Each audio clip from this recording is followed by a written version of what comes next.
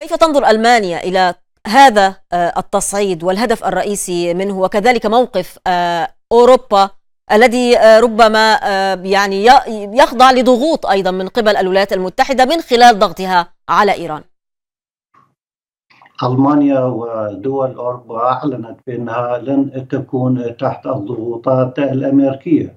وبرغم اختلاف وجهات النظر والمواقف ما بين دول أوروبا وألمانيا ضمنها مع الولايات المتحدة لكن هذه المرة بعد إعلان إيران بأنها سوف تعلق جزء من التزاماتها في الملف النووي أعلنت ألمانيا وكذلك فرنسا ودول أوروبا والمفوضية الأوروبية الشؤون الخارجية بأنها تشعر بالقلق بأن الوضع أصبح غير آمن وأن عدم التزام إيران هو يعتبر تهديد ليس فقط إلى الأمن الإقليمي ولكن إلى الأمن الدولي.